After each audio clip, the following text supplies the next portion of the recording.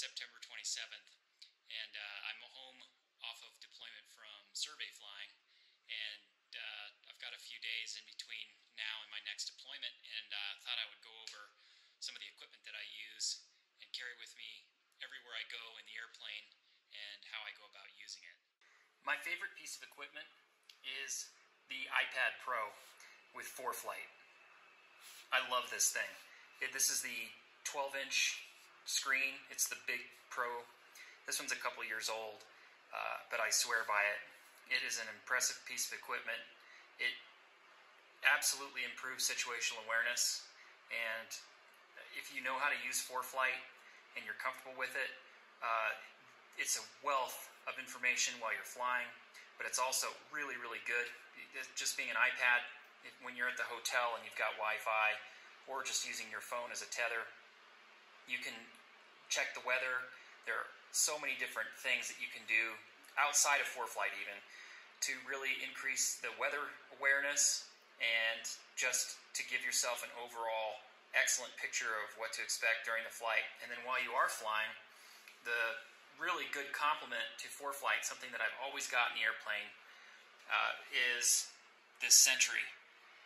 This thing is the the Sentry with the ADS-B in. It's got a CO detector, and it is a WAAS GPS, wide area augmentation system. So it's super accurate GPS that feeds the iPad. And what's really cool is while you're flying, you can tap the AHRS screen attitude heading reference system, and you get real time AHRS data from the Sentry as a backup.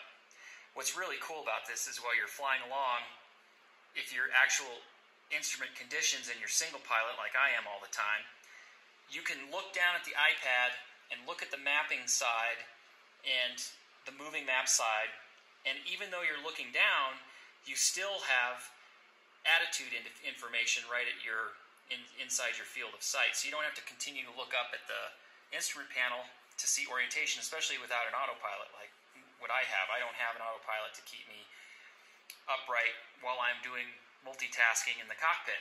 So this is a super handy little uh, device. It's excellent for letting you know what the weather's doing at different airports while you're flying. And I just, I swear by that combo, the iPad and then the, the pencil it seems kind of cheesy, but I love this pencil. And the way I use it in the iPad is I've got checklists set up for the Cessna 402 that I'm flying, which is really cool. And you can just tap, tap, tap, tap, tap through the checklists. But the scratch pad function for ForeFlight is really a cool feature. For, for instance, the last time I flew, Information Sierra gives me 10 plus visibility, FEW at 1200, temperature dew point, altimeter, and the landing runway.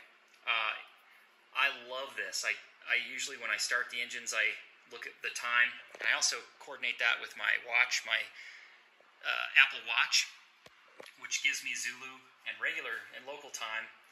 So those working together are an excellent uh, excellent use of resources in the cockpit without having to have paper. You can write down notes and then you can switch over to your clearances. So, like if you're flying IFR, you've got your craft, clearance, route, altitude, frequency, and transponder. So, they gave me the clearance, my alt- initial altitude, my departure frequency, my, trans- my transponder setting. It's right there, it's accessible, super fast, and then just flip back over to the map. You can easily go your IFR charts right here. And I was flying Alaska, that's why you see Alaska pulled up, but you've got all this information just right there at your fingertips. Really wonderful use of a resource without having to have extra extra stuff in the cockpit. The pencil is easy to lose, so I always keep it in the box with the Stratus. It goes in there at the end of the day. I take the Stratus, put it in here, put the pencil in there, zip it up, take that all back to the hotel with me. Lightspeed is my headset, the Zulu 3. Excellent headset. I always carry a spare set of AA batteries for it. That's um, you know, if if it's been a few hours, quite a few hours since I've changed batteries, I'll go ahead and switch them out. That way they don't die while I'm flying. And that's just kind of something I always keep a spare set in the case. Coming along here, you see these spare battery packs. These things I always carry, and they have USB ports. The iPad is does not last very long when you're using ForeFlight and Sentry on board the aircraft. So you have to either have it plugged into aircraft power, and some airplanes I fly don't have a USB power port. So I always charge these at night at the hotel and carry them in the airplane with the charging cords at the ready because the iPad needs to be plugged in. The Sentry is the same. I use this white cord and plug it into one of the spare battery packs, and it just works like a charm. I carry a flashlight that's a headlamp I have two of them in case I'm out at night and I need to make sure that I get that taken care of as far as having backup lighting that's not you know that's independent of the aircraft system.